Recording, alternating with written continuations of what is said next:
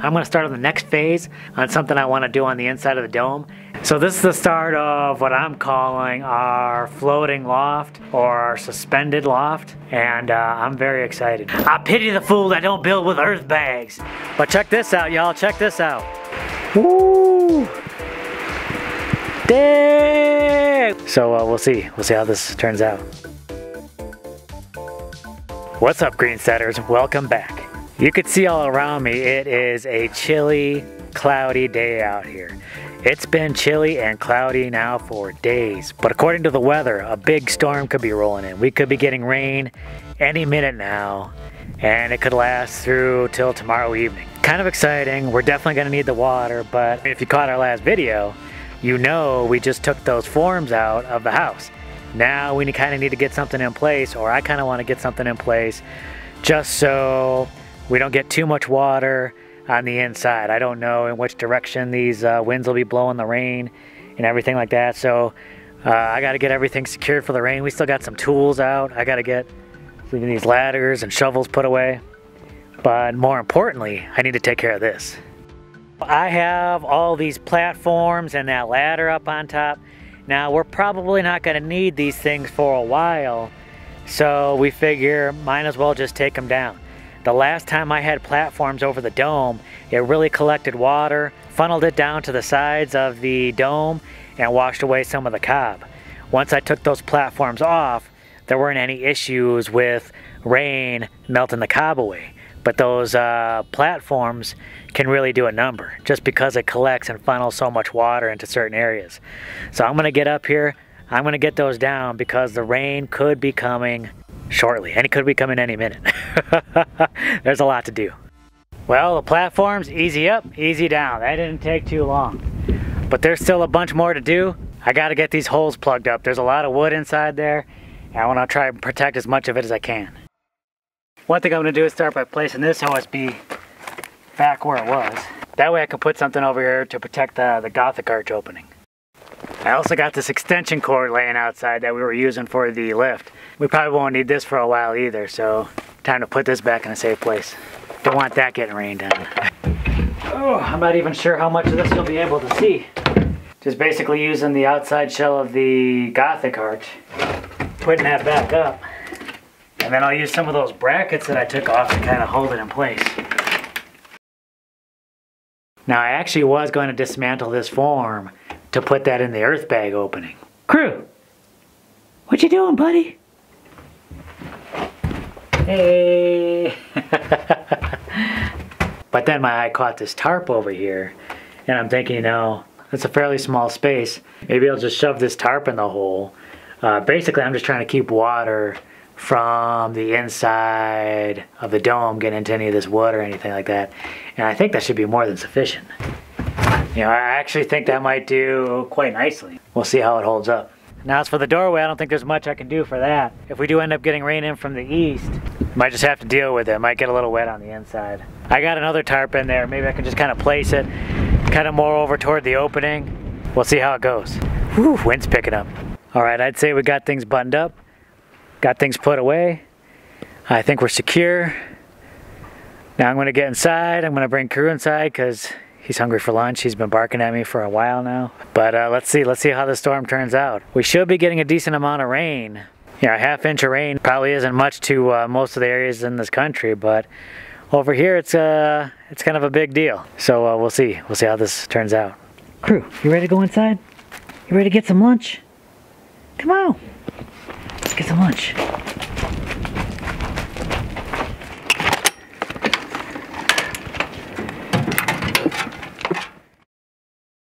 It's starting to rain a little bit, starting to get a little bit of a drizzle. Hopefully we get more, a little bit more than a drizzle. but uh, man, it is beautiful out here. You know, uh, we get a lot of sunny days and I'll take the cloudy ones every once in a while. Especially if it brings us some rain. As long as I'm out here braving the cold, let's see where the batteries are at. I did just have the hot water on taking a shower, so. oh, nice. 49 volts. That's not bad at all. I'll take that. That's just a little dip in the batteries. That's not bad at all. Not bad at all.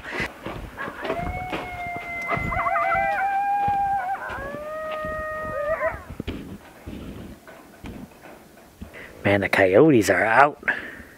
They probably don't care for the uh, the chill in the air and the uh, rain either. They're gonna have to find their shelter someplace else. Hey crew, you don't want to sit outside this morning? You didn't even want to go for your walk.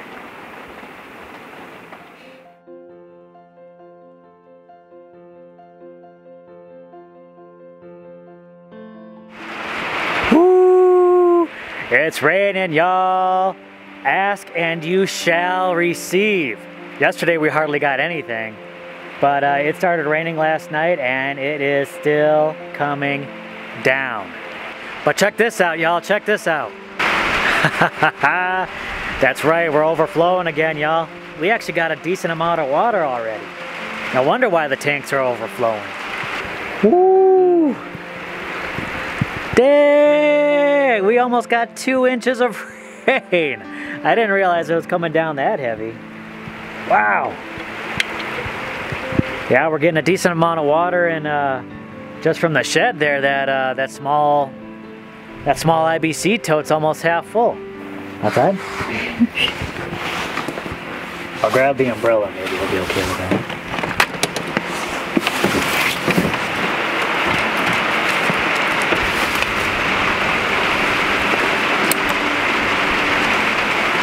Go for a walk.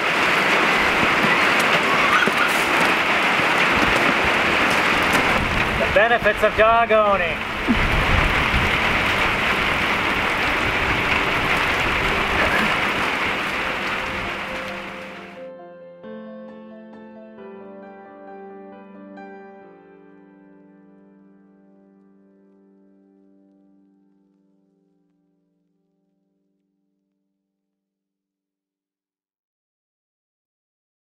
I'm over here. Let's check out the dome. Let's see how the dome has held up.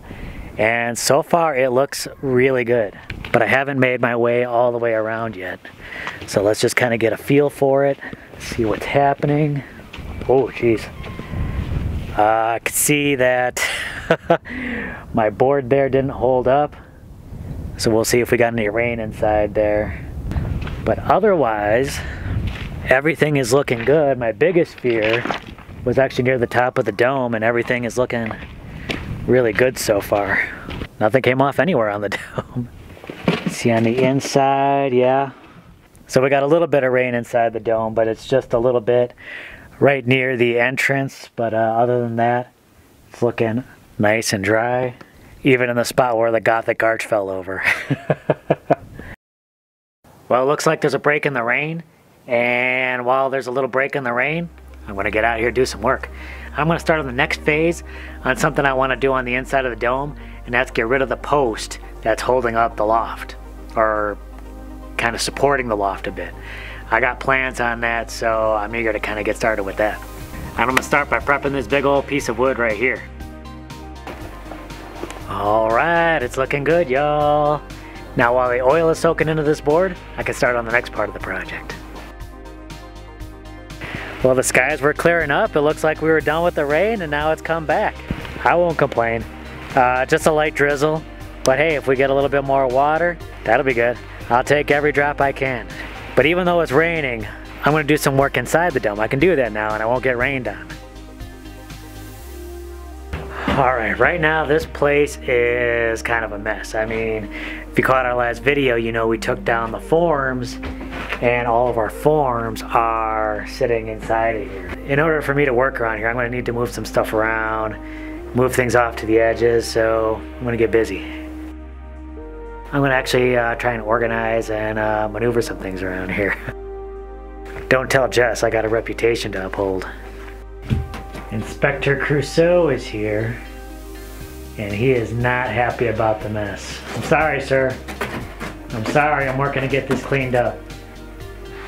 I'll have it tip-top in no time, sir.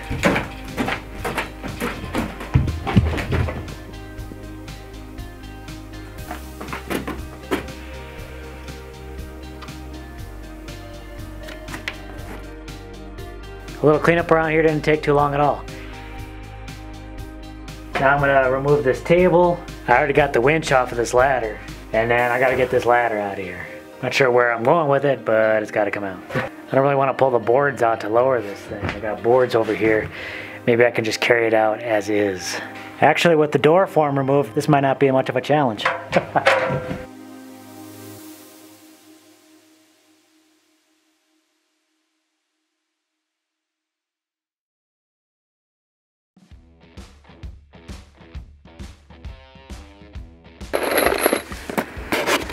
That's how to do it. So this is the start of what I'm calling our floating loft or our suspended loft. And uh, I'm very excited because technically I kind of had this idea before to do something like this, but then I decided maybe go with a post. But now I'm deciding to go back to the floating loft and I think this will be cool. I think this will work out really nicely. I'm very excited to try this out. But basically this post is going away and it'll actually be supported from above. So it should be very cool. Okay, so basically I'm going to transition from kind of having these separated and supported by this post to being completely suspended from the air. So what I'm first going to do is take out these two lag bolts.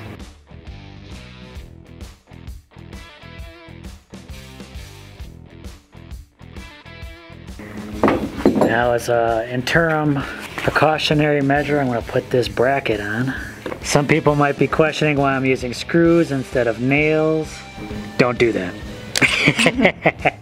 no, uh, this is only a temporary measure anyway while I do some other things.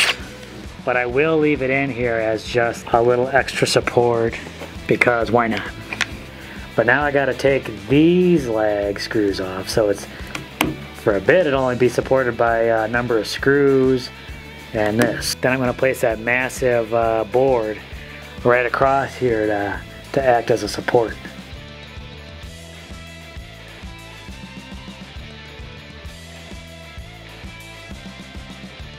So look at the size of the hardware got. So I'll basically be putting six of these all across this board. I think that's going to tie in this board to the loft really nicely. I'm getting the man glitter all over me and that's going to provide a lot of support. What I'm trying to do is get as much support right in that middle as I can.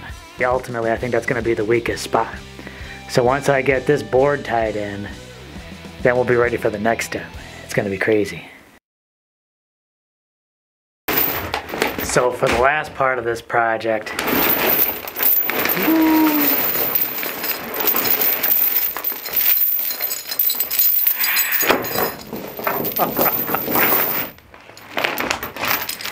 I got some heavy duty chains, y'all. This is gonna be exciting.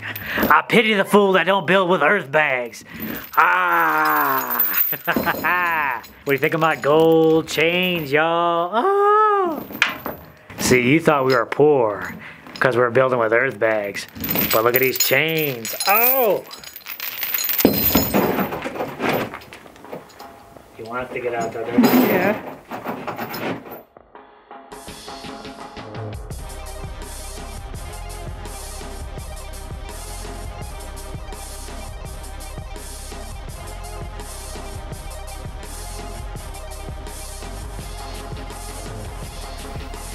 So my idea is to take these massive chains, wrap it around our beams up here, back down, wrap it around the loft, and then attach it to itself. So it'll actually be supported from these beams up here. Now if I didn't do this section in two parts, I might only have just needed one chain. But two will be good, two will be good. I Think uh, I can go with the nickname Two Chains? Uh, isn't it a rapper? See, Jess, there's probably lots of things you can use these for. Can even use this to uh, build uh, upper body strength while you're up here.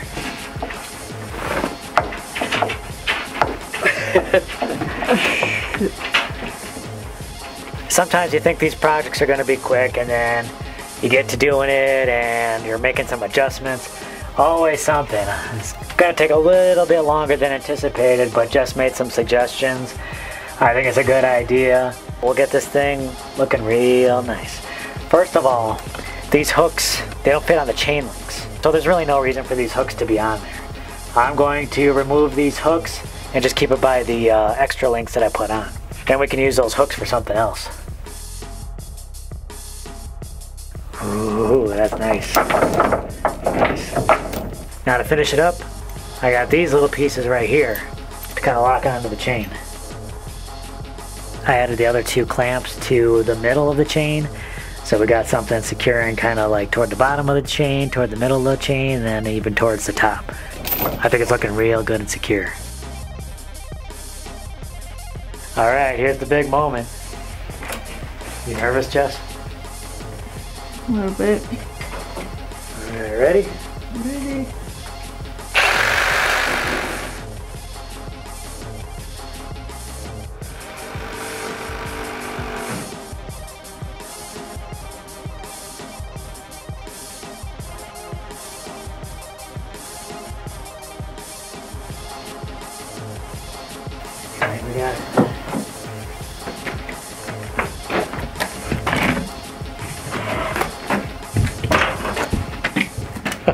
Coming at you.